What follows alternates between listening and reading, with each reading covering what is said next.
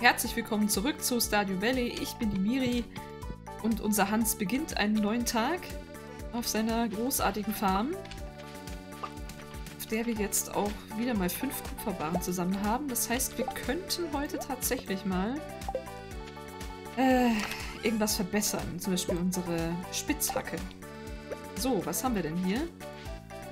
Ja, Moment, ich kann das ja anders machen. Ja, also erstmal müssen wir gießen, ernten, das Übliche. Wir sehen uns dann gleich wieder, ne? So, der Garten ist gegossen. Jetzt muss ich noch schnell unsere Katze tränken. Nicht ertränken, sondern tränken, ne? So. Dann äh, Kanne auffüllen. Das Thema wäre erledigt. So, wir haben ähm, tatsächlich ein paar Sonnenblumen bekommen. Allerdings empörend wenig neue Saat daraus. Das heißt, ich muss jetzt hier erstmal noch was Neues aussehen. Hm, einen bräuchte ich noch. Wie haben wir denn noch Zeit? Acht Tage. Ich werde mir noch ein bisschen Sommerschmuck hier hinsetzen. So, habe ich sonst noch irgendwas, was ich hier loswerden müsste? Nee. Ja? Außerdem ist mir aufgefallen, ich habe vergessen, die Hühner gestern nach, nach drinnen zu bringen. Das heißt, die armen, armen Hühner sind jetzt die ganze Nacht draußen gewesen. Die Armen. Aber ich meine, es war ja warm. Da hat nicht geregnet, kein Problem. Wo stecken die Hühner denn eigentlich? Gott, ey, die werde ich nie wiederfinden. Ach, da unten ist eins. Da ist Nummer eins, da ist Nummer zwei. Ruht sich ein bisschen am Wasser aus, kann ich ihm nicht bedenken. Und wir machen hier auch noch mal ein bisschen Mayonnaise. So, die erste Mayonnaise können wir verkaufen. Haben wir auch. Genauso wie die Sonnenblume.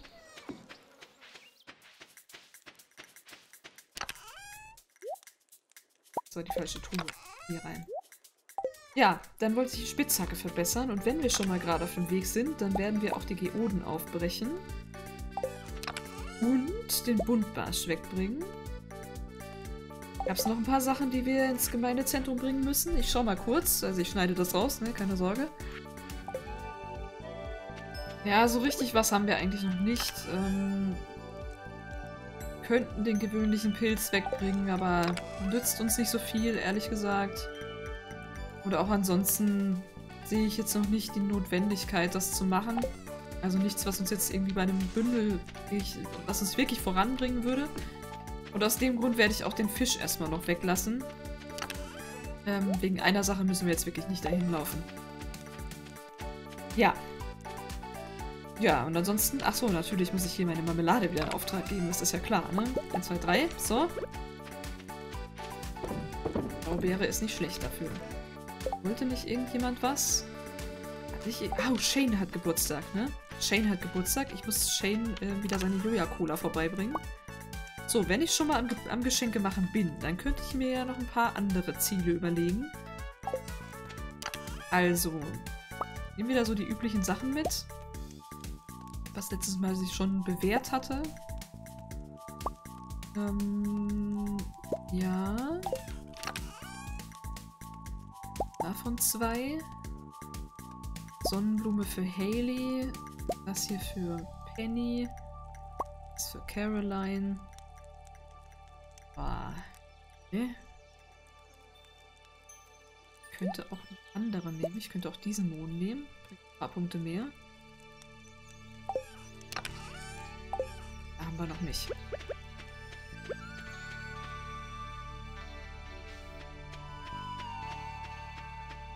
Aber wir trödeln jetzt hier nicht lange rum. Mit Geschenken. Wir, also Ziel ist tatsächlich zum Schmied zu kommen. Caroline holt gerade nach oben ab, aber das stört uns erstmal gar nicht. Weil wir müssen ja vielleicht auch noch ein paar Platz machen. Wow, das mag ich total gerne. Danke dir. Ich weiß, dass du das gerne magst. Ja, der ist immer noch bei seinen Mondlichtquallen. Schock, das ist absolut fabelhaft. Du hast eine alte Dame sehr glücklich gemacht. Der gute Bürgermeister hat mich für die städtischen öffentlichen Gärten verantwortlich gemacht. Ich habe monatelang an den Blumenbeeten gearbeitet. Bitte tritt nicht in sich rein. Ja, mache ich. Keine Sorge.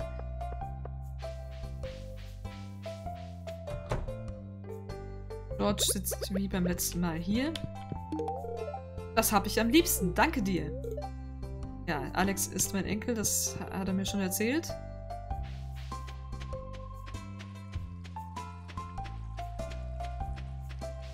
Ich brauche Sam. Ist der Sam? Ja, Sam war das. Ja, dann breit keiner zu sehen. Ist nichts. So, ich möchte gerne ein paar Geoden aufbrechen. Darf ich das hier machen? Ja, ne? Oh, dreimal Kupfer. Okay. Ah, nicht schlecht. Das hatten wir schon mal. Das weiß ich. Da bin ich mir nicht sicher, ob wir es schon mal hatten.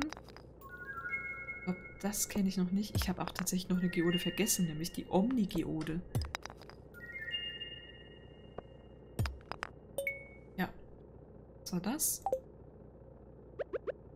Dann werde ich als nicht, nächstes Mal meine Spitzhacke verbessern. Für 2000. Fängt damit an, so bald wie möglich. Ähm, Penny, ich hätte da was für dich.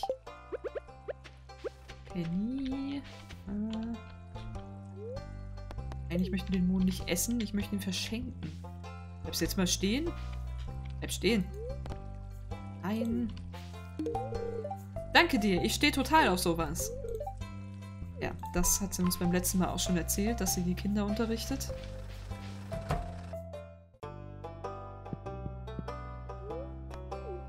So, was haben wir denn für das Museum? Diesmal das hier und das hier. Mehr ist es nicht, aber es gibt eine Belohnung dafür. Was bekomme ich? Singender Stein. Okay. Ah, ich habe die Bücher vergessen. Moment, ich wollte die Bücher noch lesen. Was gibt's hier? Heiratsknigge für Bauern. Bevor du um jemandes Hand anhältst, solltest du erst eine Weile mit der Person ausgegangen sein. Bitte dazu jemanden mit einem Bouquet von Pierres um eine Verabredung. Wenn du bereit bist, die Frage aller Fragen zu stellen, gib der Person ein Meerjungfrauen-Amulett. Jeder weiß, was es bedeutet, eines davon zu erhalten. Es wird gemunkelt, dass an stürmischen Tagen der Geist eines alten Seemannes im Sternentautal erscheint, in dessen Besitz sich ein solches Amulett befindet. Nach der Hochzeit zieht dein Partner bei dir ein. Vergiss nicht, dich gut um deine bessere Hälfte zu kümmern. Dein Partner mag Geschenke auch noch nach der Hochzeit. Bezahlt von Pierre. Achso, das hat er bezahlt, diese, dieses Buch. Der Angler, Akt 2. Text. Jordi, erzähl mir von, dein Be von deiner besten... Erzähl mir deine beste Angelgeschichte. Jordi, ich habe eine ganze Menge großer Fische gefangen und ein paar davon waren sehr selten und schwer zu fangen. Aber es gab einen, bei dem habe ich drei Tage und drei Nächte gekämpft. Ich nenne diesen Fisch die Legende. Sie war ein gewaltiges Biest, und je stärker ich an der Leine zog, desto stärker zerrte sie zurück. Ich war nur für einen Moment unachtsam und sie riss mein Boot entzwei. Seitdem habe ich nie mehr gefischt. Denkst du, dass sie jemals jemand fangen wird? Hm, wenn diese Person ein Meister im Fischen wäre, alle anderen seltenen Fische bereits gefangen hat und ganz wichtig, das Richtige gegessen hat, dann vielleicht. Aber vor allem musst du das Wasser respektieren, mein Sohn. Ex, Sohn? Meinst du, du, du bist mein F Vater? Jordi, ja, mein Junge. Dramatische Musik, während der Vorhang fällt. Okay. Ähm, war das eine Anspielung auf Star Wars? Aus dem Weg. Hier ein Buch lesen, Mann. Abigail. Hm, ich kann das Buch nicht lesen, weil Abigail im Weg steht. Hast du dein Haus überhaupt irgendwie eingerichtet? Das wäre mein erster Gedanke, wenn ich ein Haus hätte. Äh, das ist schon eingerichtet. Das hat mein Opa gemacht. Da muss ich mich nicht drum kümmern. So, jetzt haben wir immer noch nicht Sam getroffen. Es wird langsam Zeit. Hm, manchmal springt er ja am Strand rum. Ne? Vielleicht treffe ich ihn ja da. Aber heute ist sein Geburtstag, also könnte es auch sein, dass er heute nicht am Strand ist.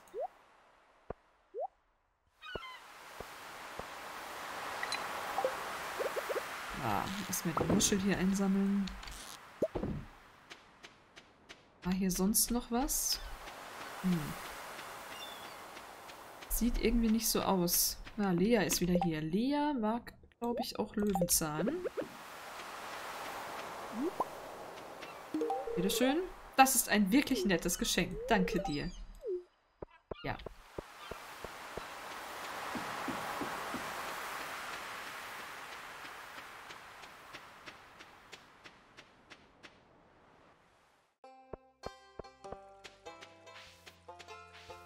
So, Sam habe ich immer noch nicht gefunden. Dafür springt hier Alex schon wieder rum.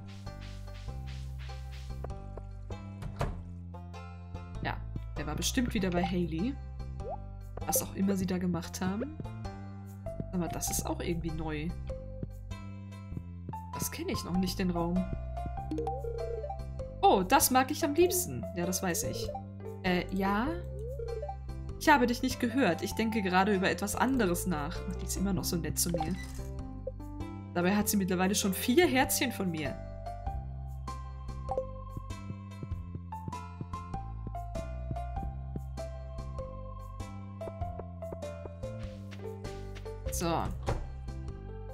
Ach, Sam, bist du vielleicht irgendwo mal zu treffen? Nö, hier ist er auch nicht. Da ist überhaupt niemand. Hm. Da ist er ja. Sam, heute ist doch dein Geburtstag. Bleib mal stehen. Nein, nicht trinken. Ein Geburtstagsgeschenk? Das ist sehr nett von dir. Ich liebe es. Hi, nimmst du dir den Tag frei? Nein, ich habe den ganzen Tag nach dir gesucht. Klingt interessant. Hm. Was gibt's hier denn noch wieder? Suche nach einem hübschen jungen Mann, der mir Kugelfisch bringt. 600 Gold dafür. Das würde sich vielleicht mal lohnen. Was hast du gesagt? Es ist schon 17.40 Uhr? Meine Güte. Ja, ist es. So. Shane. Nein, nicht. Oh, mal. Oh, wow, Hans, woher wusstest du, dass ich sowas mag? Ja, du mochtest es beim letzten Mal schon. Er hat immer noch keine Zeit zum Plaudern. Das ist vielleicht ein unfreundlicher Mensch. Pastinake werde ich auch noch los.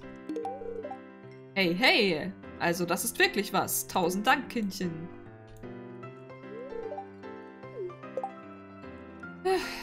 Ja. Hm, Kugelfisch würde ich wahrscheinlich am ehesten am Meer bekommen, ne? Gehen wir doch noch mal eine Runde angeln. Zumindest für den Abend. Die Frage ist natürlich, ob der Kugelfisch jetzt abends rauskommt. Hm. Fürchte eher, dass der eher so ein, so ein Morgens- oder Mittagsfisch ist. Aber wir probieren's.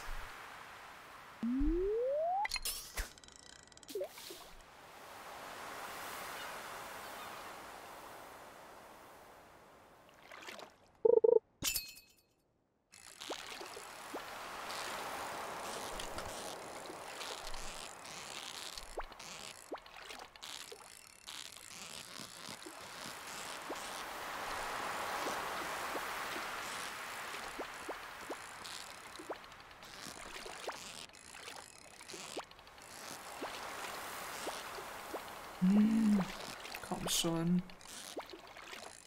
Schon.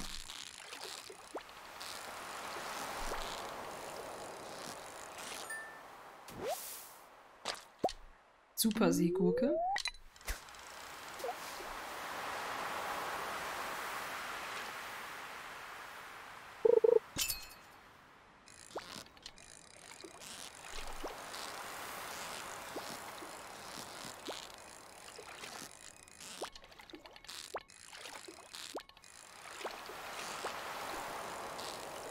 Ja, ist das noch eine? Ja. Die sind gar nicht so schlecht, weil die, glaube ich, relativ wertvoll sind. Da fangen wir jetzt einfach noch ein paar von, würde ich sagen. Verkaufen die. Vielleicht kann ich mir dann bald meine neue Angel leisten.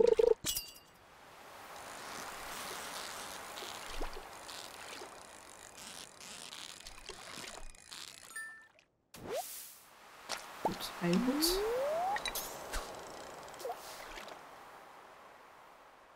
Ja, so beim letzten Mal hatte ich euch von The Witcher erzählt. Um, wir sind ja immer noch beim Thema, welche Spiele haben mich geflasht und warum. So, und warum bin ich beim Witcher nicht gekommen? Es ging einfach nur darum, also, ja, The Witcher ist einfach eine super tolle Story. Da kann man einfach nichts anderes zu sagen. Es ist toll erzählt, auch in, im Spiel. Und ich denke, wo wir schon mal gerade dabei sind, was ich hier auf meinem Kanal schon habe, an Let's Plays, äh, gibt es auch tatsächlich noch ein anderes Let's Play, ein anderes Spiel, bei dem mich das Spiel echt geflasht hat. Und das war tatsächlich mein allererstes Let's Play, nämlich Through the Darkest of Times. Ähm, das hat mich auch durchaus emotional ganz schön mitgenommen. Also da war ich, war ich begeistert, wie toll dieses Thema Nazi-Zeit aufgearbeitet wurde. Ähm, wie emotional es auch war. Das Spielprinzip war eigentlich relativ naja, simpel, sage ich, ist jetzt nichts wirklich ähm, Übertriebenes gewesen, wo es mega komplex wäre. Also schon nicht einfach, ne? Nicht, ver nicht verwechseln, es war nicht einfach, aber es war auch nicht hyperkomplex. Ähm, und das Spiel fand ich total toll, auch von der Stimmung her einfach. Die Stimmung hat es einfach in dem Moment auch gemacht. Und das Spiel fand ich richtig toll. Und auch ein anderes Spiel, das auch von der Stimmung echt toll war, war Frostpunk. Das kam ja erst vor kurzem auf dem Kanal. Ähm, auch da ähm, habe ich noch nicht vergessen, ich, dass ich die anderen, Let's die anderen Szenarien auch noch spielen möchte. Ähm, ja, aber im Moment habe ich das gerade zwei andere Projekte am Laufen und noch ein drittes schaffe ich nicht nebenher. Ich will auch nicht zu viel auf einmal anfangen, ne, weil sonst würde dann irgendwann alle vier Wochen würde dann das weitergehen hier. Das ähm, finde ich dann irgendwie nicht so gut. Naja, also Frostpunk und Through the Darkest of Times sind von der Stimmung her neben The Witcher für mich die Spiele auf dem Kanal, die mich am meisten geflasht haben. Ähm, ja. Jetzt überlege ich gerade. Was gab es denn noch? Ja, es gibt tatsächlich noch zwei Spiele, die auch zumindest mal eine Erwähnung, ja eigentlich drei Spiele, die noch zumindest mal eine Erwähnung verdient haben. Ähm, jetzt muss ich aber erstmal was essen. Spannung steigt. Und zwar, ähm, das eine ist Rimworld. Da habe ich auch tatsächlich schon mal drüber nachgedacht, ob ich dazu ein Let's Play machen möchte. Wenn ihr daran Interesse habt, sagt mir ruhig Bescheid. Ähm, das ist also was, was ich mir durchaus vorstellen kann. Das ist ja ein sehr umfangreiches Spiel, sehr viel Zufall finde, es hat tatsächlich eine gewisse Ähnlichkeit sogar tatsächlich mit den Sims. In gewisser Weise, obwohl es jetzt nicht so eine Lebenssimulation ist, aber eben auch was so diese zufälligen Erzählmechanismen angeht.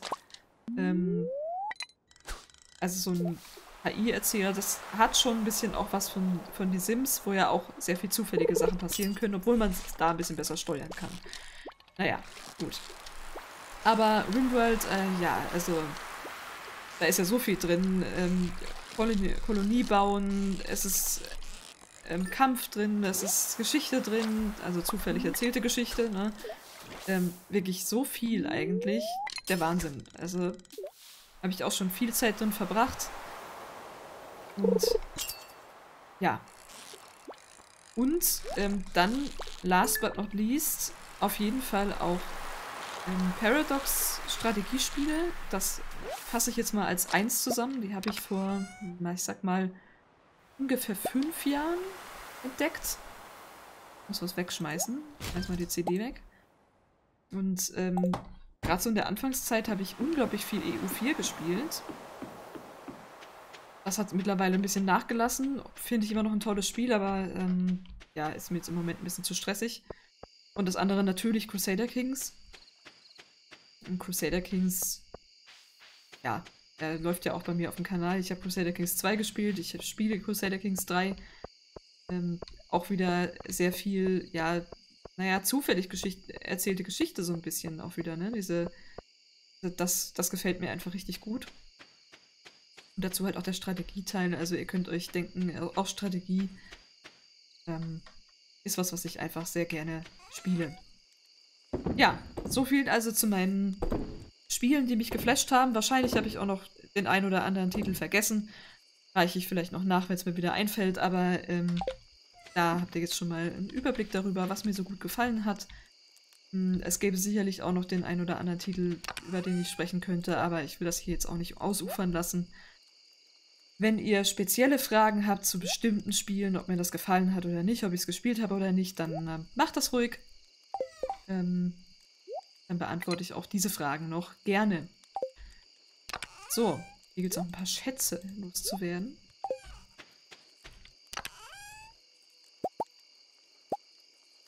Ich werde auch noch mal ein bisschen Kupfer einschmelzen. Dann wird es schon wieder Zeit fürs Bettchen.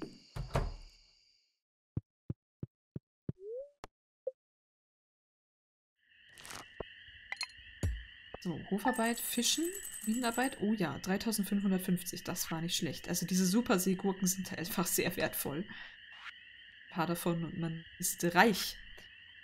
Blaubeergelee ist schon 150 Gold wert. Also zum Vergleich, der Lachsbeerengelee ist 60 Gold. Also das ist schon fast das Dreifache, was wir hier bekommen. Richtig gut.